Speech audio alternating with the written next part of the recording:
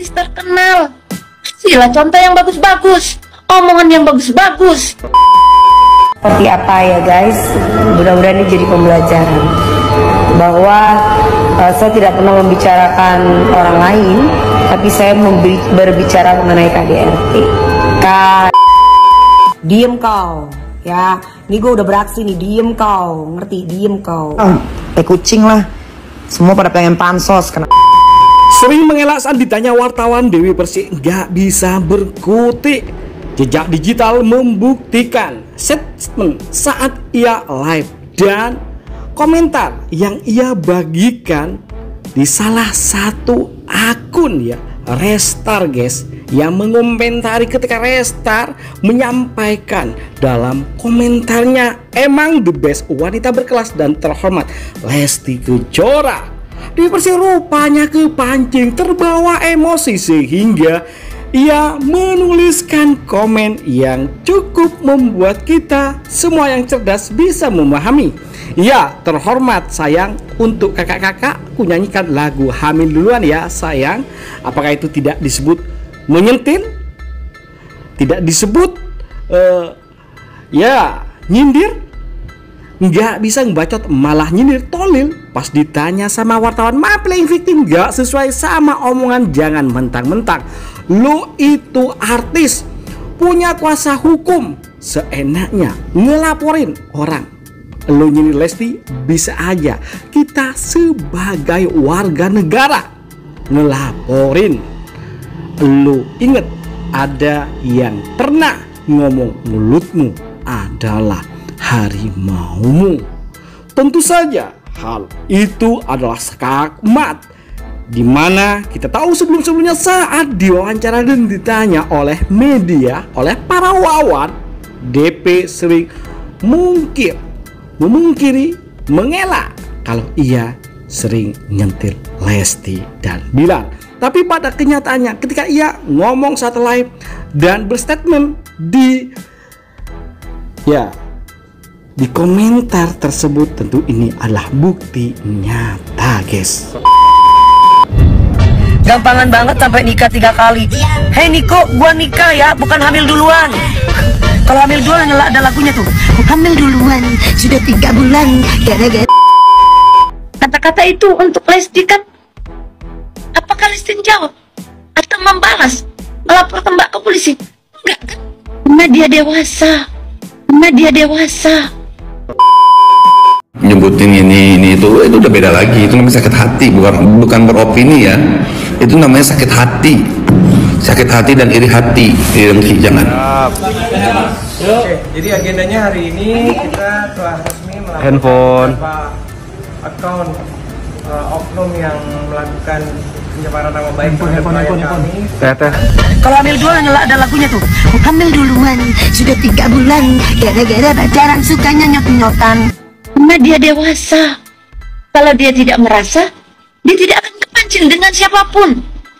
Mau dengan artis, mau dengan netizen-netizen yang nggak tahu apa-apa. Sebab kami ini ya mbak ya, Nggak A, nggak B, nggak C.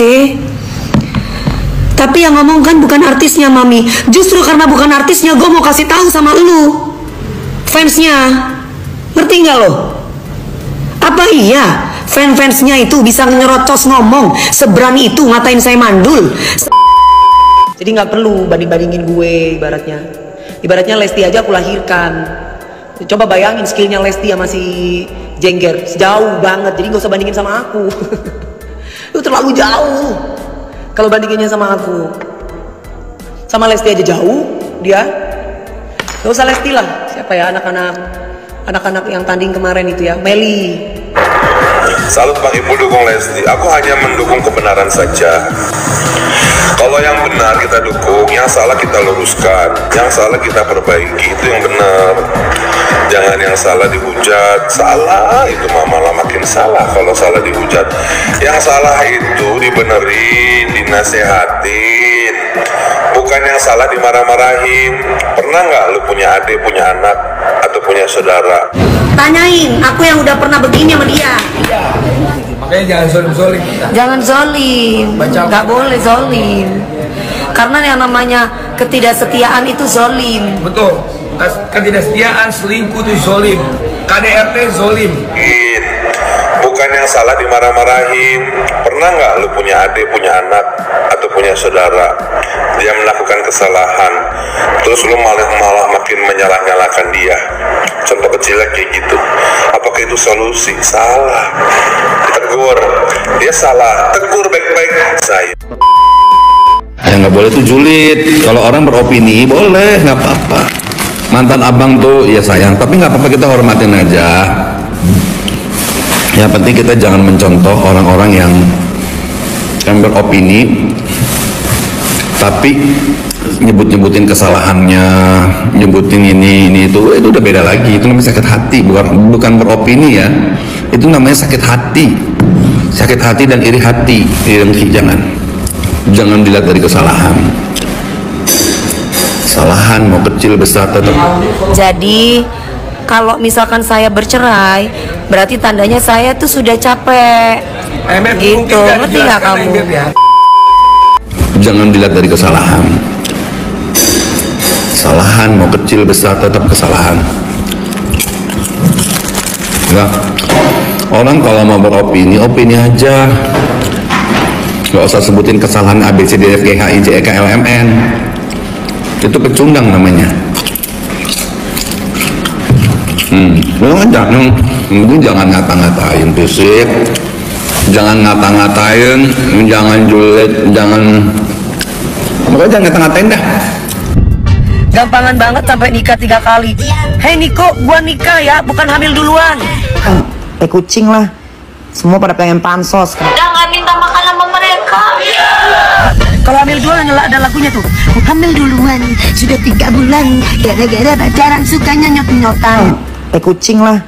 Semua pada pengen pansos. Kena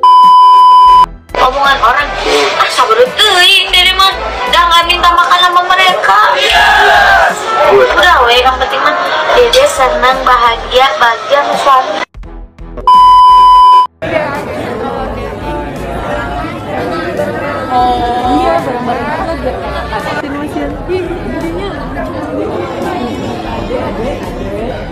Jalanku ada lima Dor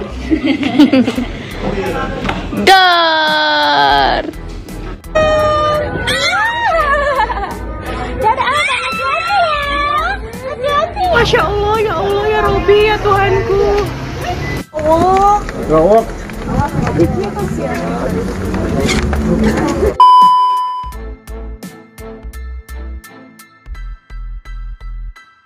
Bagaimana menurut kalian guys? Jangan lupa kasih komentar, like, dan masukan agar tambah seru keuangan mereka berdua yang so selalu akan kita sajikan kabar terbaru terupdate tentang selebriti tanah air dan mancanegara yang bakal bikin kita semua happy senang dan update akan kabar berita terbaru tentang mereka tentunya. Oke itu saja kabar dari kami. Jangan lupa like, comment, dan subscribe. Terima kasih telah menonton. Yuk, bye-bye.